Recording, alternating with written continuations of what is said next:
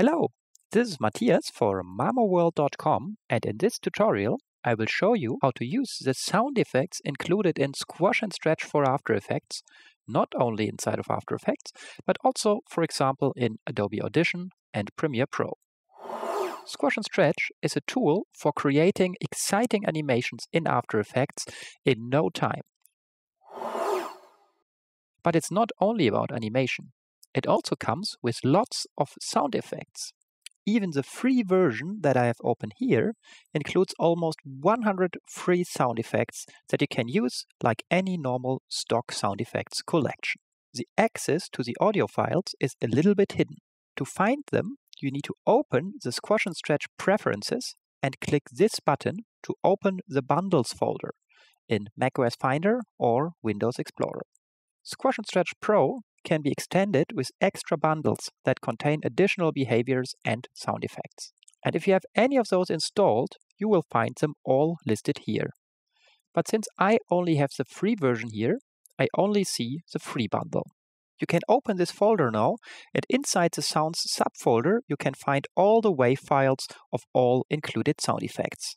As you can see, they are grouped conveniently in different categories, like deformation, impacts, and whooshes. A very convenient way to browse and import sound effects is to use our extension Quick Importer, which runs in After Effects, Premiere Pro, and also Audition. Let's say I want to use the sound effects in Premiere Pro.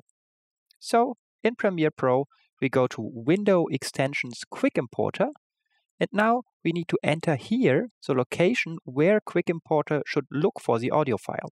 On Windows, we can copy and paste the path directly here from the address bar of Windows Explorer.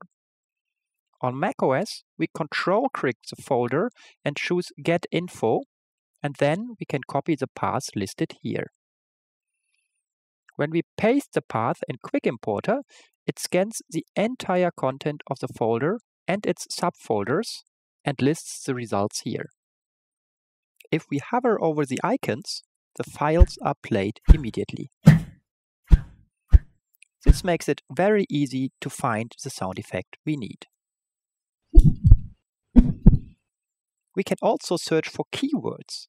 Let's look for some impact sounds. As you can see, I just need to type imp and already while I am typing, Quick Importer updates the results to match our search. Now let's refine the search and also enter ball as you can see, now it lists all ball sounds in the impacts folder. If we found the file we need, we can simply click this icon to import the file. And again, this does not only work in Premiere Pro, but also in After Effects and Audition in exactly the same way. That's it for today. If you want to get the free version of Squash and Stretch, you can download it at aescripts.com slash squash and stretch. Again, this is Matthias for MamoWorld.com. I hope you liked this tutorial and see you next time.